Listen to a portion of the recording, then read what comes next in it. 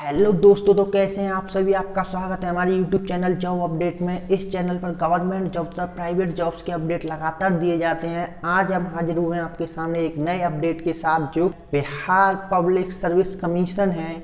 इसकी full detail Bihar public service commission द्वारा auditor की वैकेंसीज निकाली गई हैं। जो वैकेंसी का नाम है, वो है आपका ऑडिटर पंचायती राज डिपार्टमेंट में।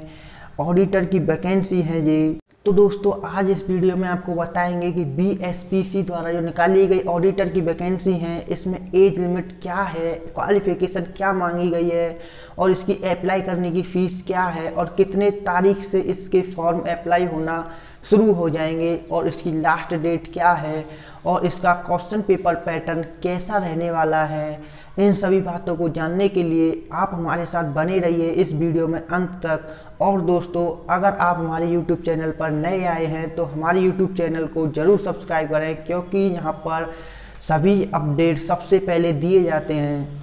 तो दोस्तों, ज़्यादा टाइम बर्बाद ना करते हुए चलते हैं अपनी वीडियो की ओर।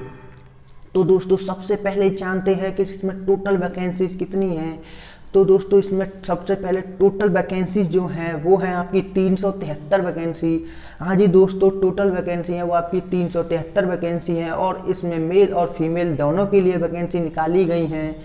और जो पोस्ट का जो पोस्ट नेम है, जो पद का जो नाम है, वो है आपका ऑडिटर पंचायती राज डिपार्टमेंट और इसमें जो आपकी एज लिमिट मांगी गई है, वो मेल के लिए अलग और फीमेल के लिए अलग।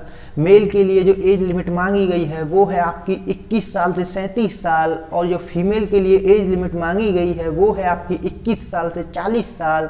अब दोस्तों, बात करते हैं कि इसकी क्वालिफिकेशन या एलिजिबिलिटी क्या है? तो दोस्तों, इसमें जो क्वालिफिकेशन मांगी गई है, वो है आपकी सीए या सी या MBA M B A finance और जो आपकी बैचलर डिग्री मांगी गई है, वो है आपकी कॉमर्स में हो या इकोनॉमिक्स में हो या स्टैटिक्स में हो, या फिर आपकी मैथमेटिक्स में बैचलर डिग्री होनी चाहिए। अब दोस्तों, बात करते हैं category wise vacancy detail category wise किस हिसाब से इसमें वैकेंसी दी हुई है तो सबसे पहले दोस्तों आती है जनरल की वैकेंसी। जनरल में दोस्तों वैकेंसी है, वो है 150 वैकेंसी, और ई e में जो वैकेंसी है, वो है आपकी सैंतीस वैकेंसी और जो आपकी ओबीसी में वैकेंसीज हैं, वो है आपकी 45 और इसके बाद जो ओबीसी फीमेल में जो अलग वैकेंसी निकाली हुई हैं, वो है आपकी 11 और इसमें ई e में जो वैकेंसी निकाली हुई है, वो है आपकी सड़सठ, और जो आपकी एस में जो वैकेंसी निकाली हुई है, वो है आपकी उनसठ, और जो ST में वैकेंसी निकाली हुई है, वो है आपकी चार। तो टोटल वैकेंसी आपकी पूरी मिलाकर बनती हैं तीन सौ तिहत्तर वैकेंसीज अब दोस्तों, बात करते हैं कि इसकी अप्लाई करने की जो फ़ीस क्या है तो मैं आपको फिर से बता दूँ कि इसकी जो अप्लाई करने की, जो ऑनलाइन अप्लाई करने की जो डेट है, वो है आपकी 21 तारीख, अक्टूबर 2020 और जो आपकी लास्ट डेट है, वो है आपकी 18 नवंबर 2020 तो अब दोस्तों, बात करते हैं कि इसकी ऐप अप्लाई करने की जो फ़ीस है, वो क्या है? तो दोस्तों, जो जनरल वाले स्टूडेंट्स के लिए है, वो है आपकी छः सौ रुपये ई डब्ल्यू एस के लिए भी छः सौ रुपये है, और जो एस सी एस टी की जो फ़ीस है, वो है आपकी एक सौ पचास रुपये और जो बिहार डोमिसाइल फीमेल जिनके पास बिहार का डोमिसाइल है, उनके लिए फ़ीस है, वो है आपकी एक सौ पचास रुपये अब दोस्तों, बात करते हैं कि इसका पेपर पैटर्न कैसा रहता है। तो दोस्तों पेपर पैटर्न में एक है आपके फिक्स सब्जेक्ट जो हर किसी के लिए फिक्स्ड है और एक है आपके लिए वेरिएबल वेरिएबल सब्जेक्ट जिसमें आप अपने अनुसार सब्जेक्ट चुन सकते हैं। तो दोस्तों, जो फिक्स सब्जेक्ट हैं, वो हैं आपके सामान्य हिंदी। दूसरे नंबर पर है सामान्य अध्ययन प्रश्न पत्र फ़र्स्ट और आपका तीसरे पर है सामान्य अध्ययन प्रश्न पत्र द्वितीय।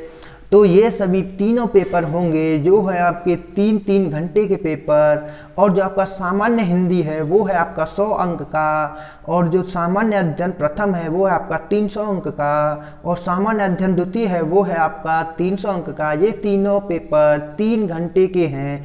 उसके बाद है आपके पास वैकल्पिक प्रश्न पत्र इसमें आप वेरिएबल भी कह सकते हैं, जिसमें आपके द्वारा चुना जाएगा कि आप किस सब्जेक्ट को लेना चाहते हैं। तो आप इसमें से वाणिज्य, अर्थशास्त्र शास्त्र गणित और सांख्यिकी इनमें से कोई एक सब्जेक्ट चुन सकते हैं। उन सब्जेक्ट उस सब्जेक्ट को चुनकर वो आपका 303 घंटे का सॉरी पेपर होगा और इसमें 300 अंक का पेपर होगा। इन दोनों पेपर्स को मिलाकर आपका पूरा पेपर होगा और उसके आधार पर ही आपकी कट ऑफ़ निकाली जाएगी। तो दोस्तों, इस प्रकार से इसकी पेपर डिटेल है।